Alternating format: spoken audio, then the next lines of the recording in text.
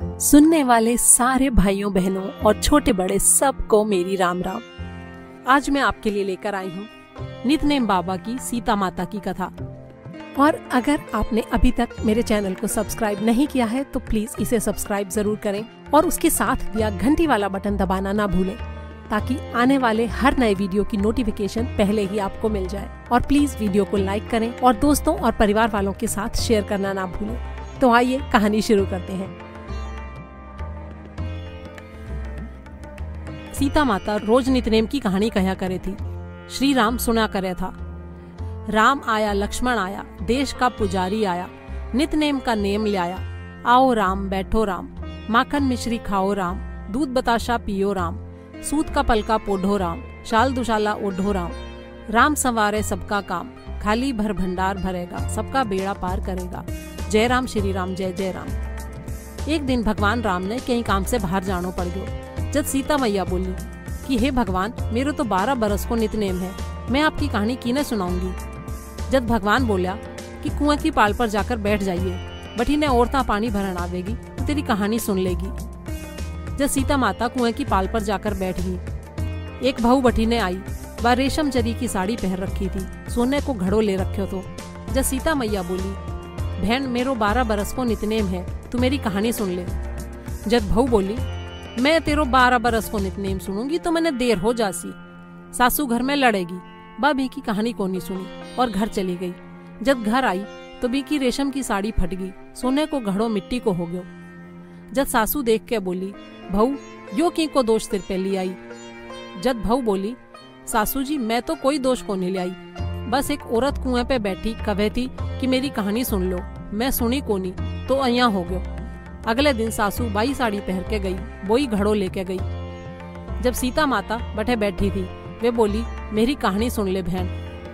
जब सासू बोली कि एक बार छोड़, चार बार सुनूँगी। जब सीता माता कहानी कहनी शुरू करी, राम आया, लक्ष्मण आया, देश का पुजारी आया, नित नेम को नेम ले आया आओ राम, बैठो राम, तपी रसोई जीमो राम, माखन मिश्री खाओ राम, दूध बताशा पियो राम, सूत का पलका पोढ़ो राम, शाल दुशाला ओढ़ो राम जद मैं बोलूँ राम ही राम राम संवारे सबका काम।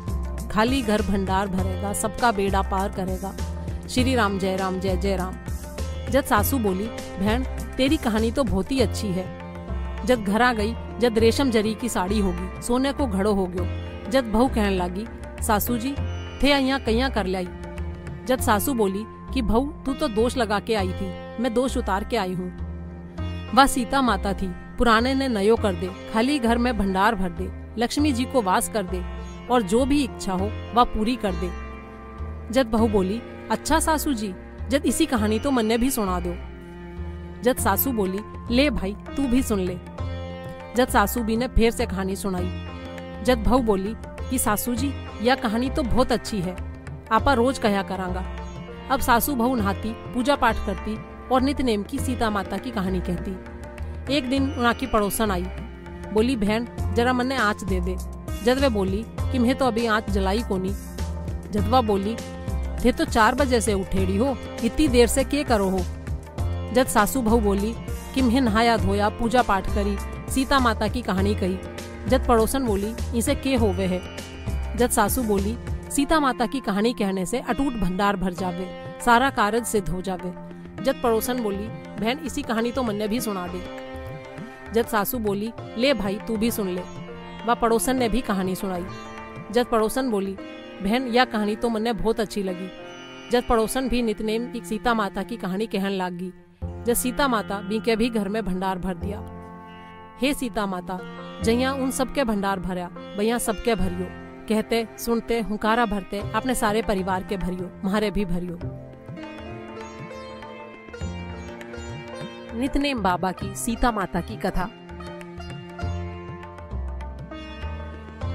राम आए, लक्ष्मण आए, देश के पुजारी आए, नितनेम का नेम लाए।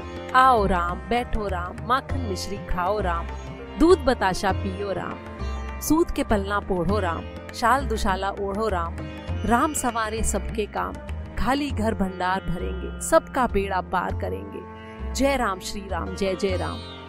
सीता माता ये कहानी कहा करती थी। श्री राम सुना करते थे। एक दिन भगवान राम को किसी काम से बाहर जाना पड़ गया। सीता मैया कहने लगी, भगवान, मेरा तो बारह वर्ष का नितनेम है। मैं अपनी कहानी किसे सुनाऊँगी? भगवान बोले, ऐसा करना, कुएँ की पाल पर जाकर बैठ जाना। जब औरतें पानी भरने आएँगी तो तुम्हारी कहानी सुन लेंगी। सीता माता कुएँ पर जाकर बैठ गई। वहाँ एक बहू आई। उसने रेशम जरी की साड़ी पहन रखी थी और सोने का घड़ा ले रखा था। सीता मैया बोली, बहन, मेरा बारह बरस का नितनेम सुन ले बहू बोली, मैं तेरा बारह बरस का नितनेम सुनूँगी तो मुझे देर हो जाएगी, घर में सास लड़ेगी। उसने कहानी नहीं सुनी। जब घर आई तो रेशम जरी की साड़ी फट गई, सोने का घड़ा मिट्टी का हो गया। सास बोली, बहू, किसका दोष सिर ले आई? बहू बोली, सासू जी, कैसा दोष? कुएँ पर एक औरत बैठी थी।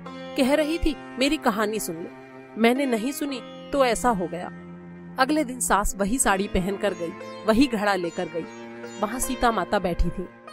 वो बोली, माई, मेरी कहानी सुन ले। सास बोली, एक बार छोड़, चार बार सुनूँगी। सीता जी ने कहानी सुनाई। राम आए, लक्ष्मण आए, देश के पुजारी आए नित नेम का नेम लाए। आओ राम, बैठो राम, तपी रसोई जीमो राम, माखन मिश्री खाओ राम। दूध बताशा पियो राम। सूद के पलना पोढ़ो राम, शाल दुशाला ओढ़ो राम। जब बोलूँ मैं राम ही राम राम संवारे सबके काम। खाली घर भंडार भरेंगे, सबका बेड़ा पार करेंगे। श्री राम जय राम, जय जय राम। वो बोली, बहन, ये कहानी तो मुझे बहुत अच्छी लगी। जब वो घर गई तो उसकी साड़ी फिर से रेशम जरी की हो गई। घड़ा सोने का हो गया।